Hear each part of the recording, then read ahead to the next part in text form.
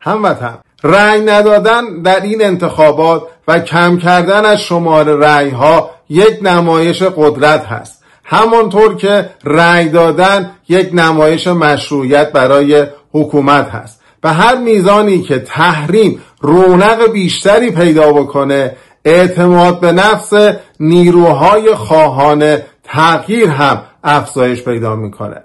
نظام اهم از خامنه ای، سپاه، شورای نگهبان، حسن روحانی و وزارت کشور تصمیم گرفتن تا در این انتخابات عددسازی بکنند.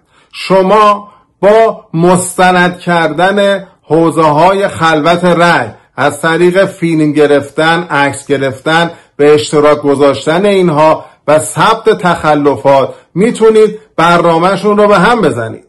حتی اگر نشه جلوی بزرگ نمایی نرخ مشارکت در انتخابات رو گرفت اما حداقل میشه اون رو پرهزینه کرد و باورپذیریش رو برای نظام سختتر. به قدرت خودمون باور کنیم ما می‌توانیم.